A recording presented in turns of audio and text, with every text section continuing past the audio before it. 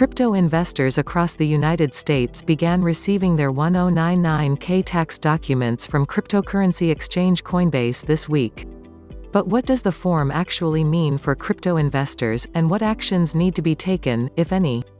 It's tax season once again in the United States, and that means it's time to take out our calculators, load up the tax software, or pay a visit to a certified public accountant to make sure all income, gains, and losses are properly reported to the Internal Revenue Service.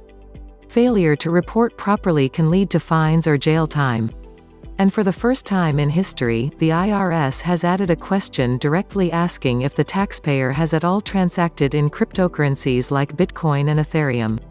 This is why crypto investors are especially anxious after receiving their 1099K tax form from Coinbase. Related Reading, wealth and tax advisor says IRS may be targeting crypto traders, not investors however, there's no cause for concern.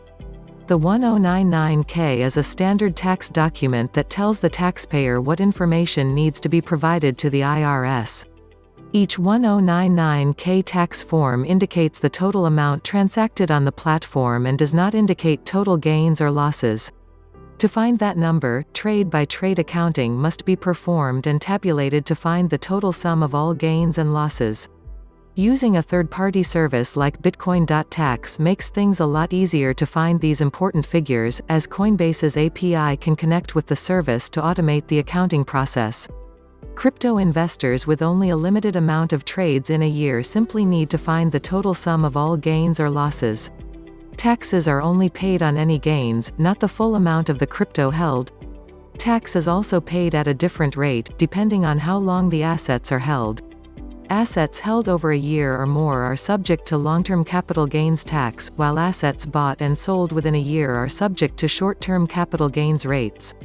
Those with an extensive number of cryptocurrency trades may need to report their earnings as income, according to some interpretations of tax laws. Related Reading, if this is you, you may not need to report crypto tax gains to the IRS the most important thing is to be sure to report something if crypto assets were held during the year. The IRS may be applying pressure to crypto traders and investors, however, according to experts, they're mainly looking for taxpayers to self-report, and will be lenient if any reporting is done incorrectly. Cryptocurrency-related tax laws are confusing, and given the gravity of the situation, consulting with a certified public accountant or using tax software like Bitcoin.tax is recommended to help take some of the fear, uncertainty, and doubt out of tax season.